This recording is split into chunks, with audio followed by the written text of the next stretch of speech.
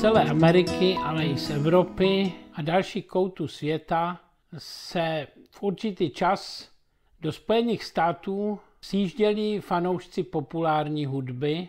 Jejich cílem bylo městečko Woodstock, dějiště legendárního rokového festivalu z roku 1969, který se konal v režii tehdejších rebelů společnosti hippies.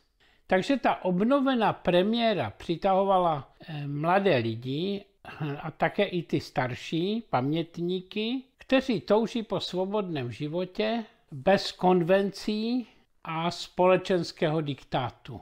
Nevím, jestli právě ve Woodstocku našli to, co hledali, ale jedno je jisté, lidský duch od jak živa touží po volnosti a skutečné svobodě. Proto se miliony lidí na celém světě snaží svobodu či vnitřní nezávislost získat. Ale tragickým paradoxem je, že mnoho z nich se snaží hledat na místech, kde tyto cenné hodnoty nejsou a nikdy nebyly.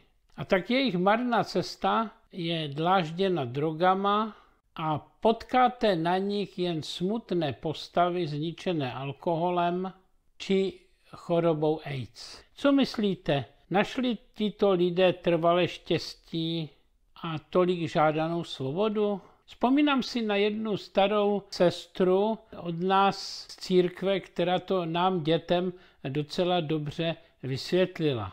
Říkala, znáte si korku? Ta je hezká. A jak čiperně lítá a krásně švítoří. Ve vzduchu dělá doslova divy. A už jste ji zkusili někdy hodit do akvária? Tak to určitě neskoušejte. Tam by totiž síkorka lítat nemohla. A za chvíli by se utopila. A to by nám bylo líto. A těm rybičkám by se v podstatě nic nestalo. Jen by byly trochu vyplašené. Ale svoji svobodu by určitě nestratili. A za chvíli by si na chuděrku mrtvou síkorku zvykli.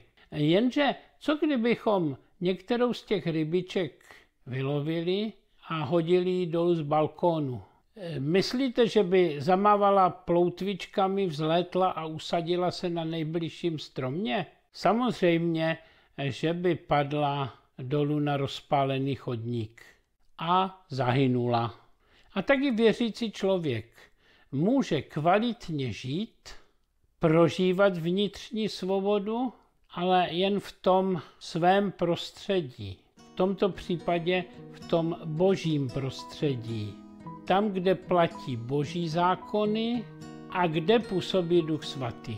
Ale jakmile se dostane tam, kam nepatří, začne duchovně živořit a duchovně umírat. Jak jednoduché a jak vystižné. Boží slovo nás učí, že ten báječný pocit vnitřního pokoje a pravého štěstí získá jen ten, kdo přijme boží odpuštění z rukou Pána Ježíše, on sám přece řekl, cituji, každý, kdo hřeší, je otrokem hříchu. Otrok nezůstává v domě navždy, navždy zůstává syn. A když vás syn osvobodí, budete skutečně svobodní.